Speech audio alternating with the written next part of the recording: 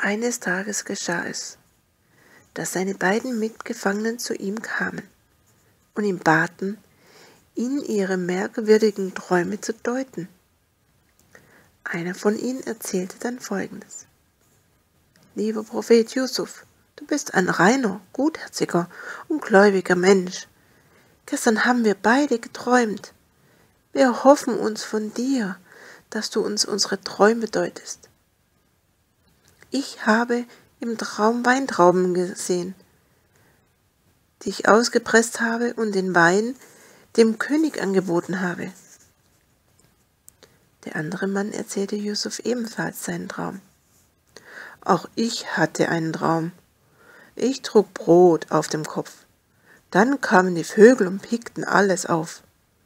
Ängstlich bin ich aufgewacht. Guter Freund, du bist ein weiser Mann. Bitte deute unsere Träume. Wir hören dir zu.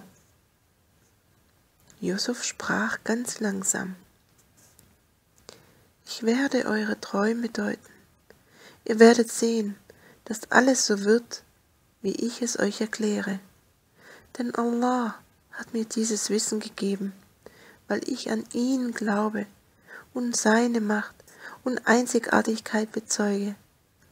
Ich bin ein Anhänger der Religion meiner Vorväter Abraham, Isaac und Jakob. Wir stellen Allah niemals Götter zur Seite. Solches liegt uns fern. Ihr könnt euch noch so viele Götter und Götzen schaffen. Was nützen sie euch? Eure Götzen, die ihr anbetet, sind keine wahren Götter.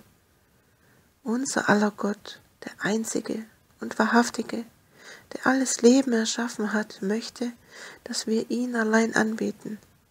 Denn er ist der Herr über alles Sein und nur er kann uns Gnade und Barmherzigkeit erweisen.